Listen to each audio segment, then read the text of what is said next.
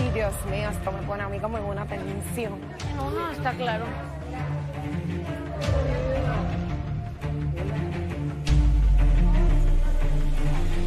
Cada una de las nominaciones de Alfredo la he sufrido porque realmente eh, por el aprecio que le tengo, por cómo estamos jugando el juego juntos. Miedo, Dios mío. ¿Soy solo yo? Sí, sí, sí.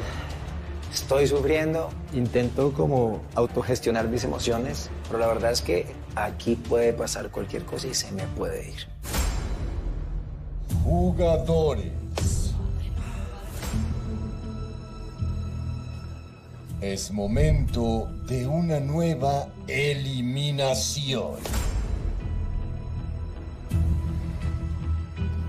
Tomen asiento.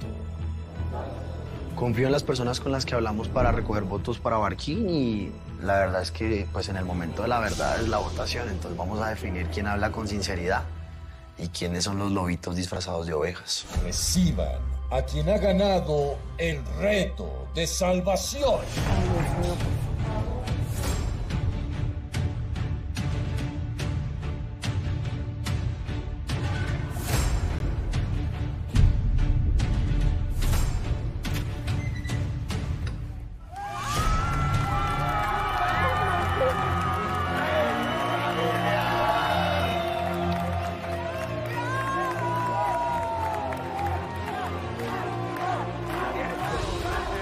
Pues a mí me hace sentir emocionado, me hace sentir eh, confiado, pero sobre todo me hace sentir cariño.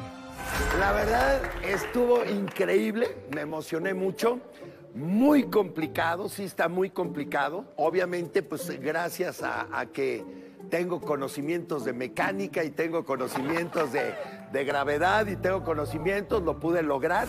La verdad sí estoy muy afectado al ver que no entra mi esposa por la puerta. Entonces, aquí Jugador Adán, Sí, señor. ve a tu asiento. Gracias, señor. Besos a todos. Besos, besos, besos. Creo que en esta competencia nadie se debe confiar. Adame queda salvado por la competencia donde estaba Barquín, estaban muchos que yo sentía que eran un poquito más fuertes que Adame, pero como dijo Adame, usé mi experiencia y eso fue lo que lo hizo ganar.